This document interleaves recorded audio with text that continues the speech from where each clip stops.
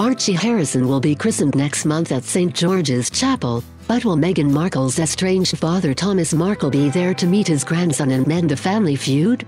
Archie Harrison Mountbatten Windsor is now six weeks old after arriving into the world on Monday, May 6. The first child of Meghan Markle and Prince Harry was revealed to the world two days later in a photo call at Windsor Castle. The Duke and Duchess of Sussex also shared an adorable new picture of Archie for Father's Day on the Sussex Royal Instagram account yesterday. Archie was seen looking at the camera as he gripped Harry's hand, with the post caption, Happy Father's Day. Meghan and Harry's post made no reference to their own fathers on Instagram.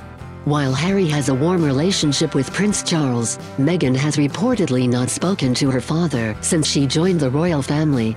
His constant interviews to the media about Meghan, following his fake paparazzi scandal, has seen the pair estranged for more than a year now.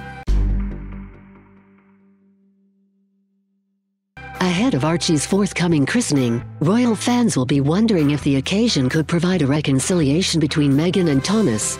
The royal youngster will be baptized at St. George's Chapel next month, according to new reports. However, Thomas Markle is unlikely to be there given the sensitive nature of the occasion. There is no indication by the palace either that father and daughter are back in contact. Is the Queen missing the christening? Thomas Markle is not the only royal relative who will miss Archie's christening, the Sunday Times royal correspondent Roya Nikkhah reported yesterday. She said, the Queen will miss the christening because of prior commitments. She attended the christenings of Prince George and Princess Charlotte, but missed Prince Louis's baptism last year. At the time, the palace said the Queen could not attend also due to prior commitments. Archie's christening is expected to be conducted by the Dean of Windsor, the Rev David Conner, and the Archbishop of Canterbury, Justin Welby.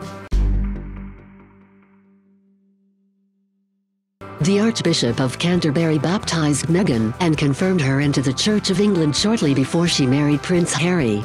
He then officiated the couple's marriage at St. George's Chapel, clearly a venue of great importance to them both.